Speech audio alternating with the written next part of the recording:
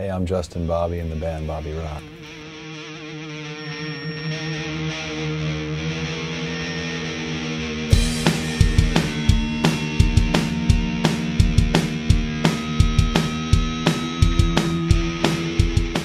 Bobby Rock means to me, it's almost a play on words from this TV show The Hills on MTV. Um, the character is Justin Bobby, and um, was kind of a play on. Um, Bobby kind of stuck with me. It's my middle name, which is Robert, and um, I was tattooing a friend of mine, and actually, you know, some of the shows I played in as a drummer, uh, they would say, Bobby, you rock, and uh, that kind of stuck. I can give you birds and bees. I can give you birds and bees. Early, uh, early ad adolescence, four, five, and six, I was on guitar, violin, harmonica.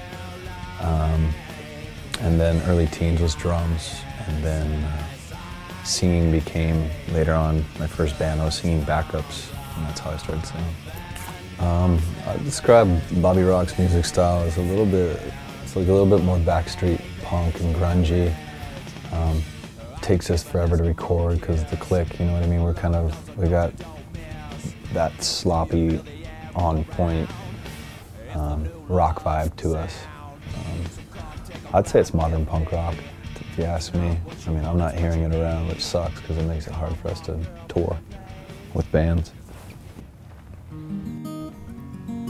The story behind our singles is we just came out with our first acoustic uh, album, which I thought was a necessary. Uh, I thought it was very necessary just because you have two or three albums. And this isn't just in Bobbyrock. I've had other albums with other bands and drumming and stuff, so it was nice to just quiet it down a bit and just play acoustic guitar and let maybe some people that don't really know your sound maybe get to hear some vocal, vocal remedies from you and uh, some guitar licks that they wouldn't normally hear that's kind of sacrificed for the, the music's sake. So we have singles out now. We're doing a TV show on the hills uh, for MTV and they're showing our singles so we think it's a good time to just not deal with a shit ton of music and production and attitudes and all the stuff that comes with rock and roll. So singles are a little bit easier right now. We're gonna see how they go. And one's called uh, Where the Drugs At, which just aired on MTV. And uh, we have another one called Surf's Up, and then In a Bind. Drawing inspiration for these songs is, um, I've said before, it's just life. Um, we've all been shit kick, kick canned and we've been torn up and beat up and I pull it from the negative part of that and try to make it like a maniacal, punny, uh, oxymoron kind of vibe where it's kind of neither here nor there and jokey, Freudian slips. Um, for me, it's early punk shows to CCNR to rap to Roy Orbison to Bruce Springsteen to Tom Petty to like Bad Brains and Offspring. Um, and then house, I mean house music. And if you listen to a lot of our music, we have like build-ups and I try to go extra like four, eight, 16 beats just to build up because I'm, I'm, an old house kid. I loved, um, I loved electronic music for a long time, so we try to implement that.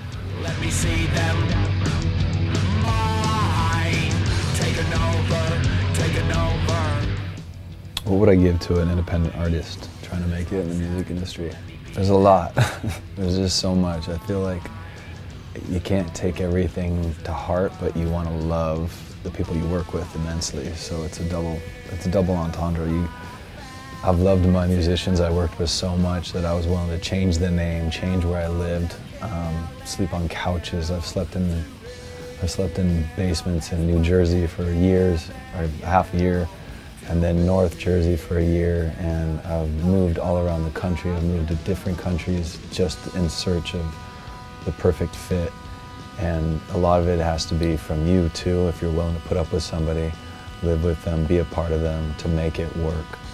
Um, you can't give up and you have to stay true to your craft. Uh, I've had musicians bail on the road, on tour, that left me hanging with 20 dates left and I've had to call the booking agents and be like, the rest is an acoustic series or acoustic shows. You just keep going and you don't stop and it will hinder you because you become a little bit like muted by it and you become dull and numb with people. And when the right people are there, it'll show you that, it, that it's right and it means well. Um, pay attention. In your gut, your gut will tell you what's right and wrong, but most people want, want the, they want it so bad, the rock and roll so bad, that they forget who they are, what the music's about, and uh, they'll just take anybody on. So I would say there's a feeling, even right now, I have two feelings with drummers, and you get tells with bands, and you get tells with musicians that it's a not a good fit, and then you find yourself up six, eight months down the road with somebody that you shouldn't have been with. So stay true to your rock and roll heart, stay punk rock, stay loyal, stay true to the music, keep pushing out music, get on social media, invite friends and fans. You can't stop.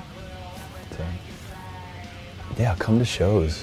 I think we're, we're, we're, a dying breed where if you're not in a festival, people don't come out to certain shows. I think um, your rootsy, your rootsy crew will come out, but to get to the masses, like you gotta I think go support music, go be about it, because I think once you're there, after you put on your leathers and you like get your tickets and stuff like that, because it's an issue nowadays. Now you got to get Ubers and whatnot. People don't really just, they'd rather stream it online. So I would say stay rootsy and go see live music, and it'll benefit you in more ways than one. So keep coming out to shows. You'll go home with something new.